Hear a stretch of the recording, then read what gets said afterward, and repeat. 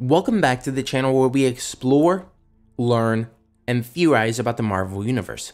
Today I'll be talking about Charlie Cox returning as Daredevil in the MCU, MODOK appearing in Ant-Man 3, and how much CGI will be in She-Hulk.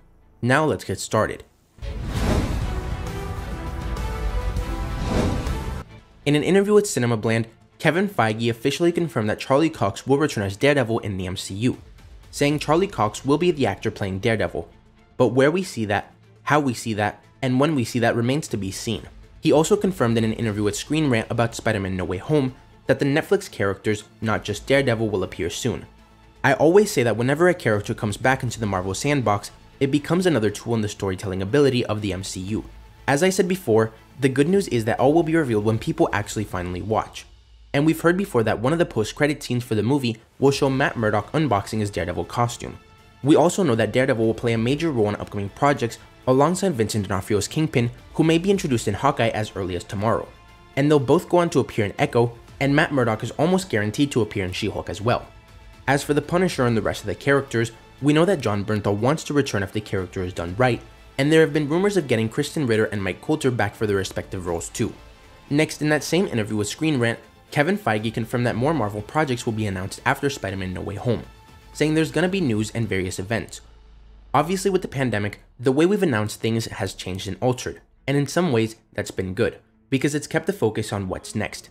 It's kept the focus on the projects as they come out, and certainly the anticipation for No Way Home, I would say, is as big as anything we've ever felt before, which is good timing as the movie's about to come out. What these projects could be, though, is really up in the air, and could be anything from official announcements for Loki and What If Season 2 with release dates, or new Disney Plus shows for Okoye or Shang-Chi. We could also get official release dates for projects in 2024, specifically the Mutants project or maybe even Avengers 5. And speaking of possible announcements, especially related to Shang-Chi, Deadline revealed that Destin Daniel Cretton has entered into an exclusive multi-year overall deal with Disney Company's Marvel Studios and Hulu's Onyx Collective. The filmmaker is already in development with Marvel Studios on a new MCU series for Disney Plus, and at the same time, Disney made it official that Cretton is returning to write and direct the sequel to Shang-Chi and the Legend of the Ten Rings.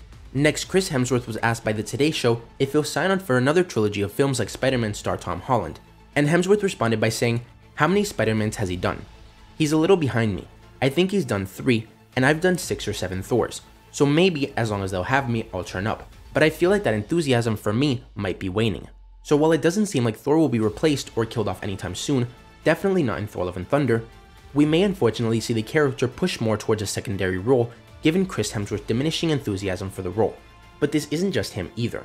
It seems like most of the original Avengers, and even Drax actor Dave Bautista, are ready to retire from their roles. Robert Downey Jr., Chris Evans, Scarlett Johansson, and Jeremy Renner probably won't appear in the MCU too many more times, and it's very unlikely that they'll get another solo project. Instead, if they even return, it seems more likely to be through flashbacks or cameos, and we even heard from Tom Holland, who's relatively new to the MCU, saying that he doesn't want to play Spider-Man after he's 30, which would only leave him about 5 more years as the character. However, somewhere that Jeremy Renner at least could appear is in Ant-Man and the Wasp Quantumania or related projects like the Young Avengers, since it's been revealed by Midgard Time that Hailee Steinfeld was spotted near where Ant-Man 3 was filming. And seeing as Cassie Lang will suit up and play a large one Ant-Man 3, and the Young Avengers are coming to the MCU soon, it would make sense for Kate Bishop to meet her and set up that connection, similar to Riri Williams and Shuri in Black Panther Wakanda Forever.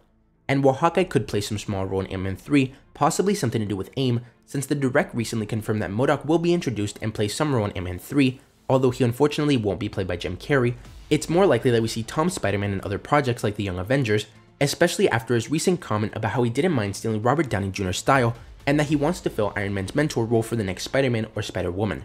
And with all the recent talk about Miles Morales, especially with the announcement of Spider-Man Across the Spider-Verse, that could be the best way for him to fulfill that mentor role. And lastly, when talking with the Scott Hasn't Seen podcast, Tatiana Maslany, who's playing She-Hulk, confirmed that the character will be 100% CGI. I'm in mocap the whole time. I'm on platforms with mocap where I have a little head on top of my head. But let me know what you guys think about all this.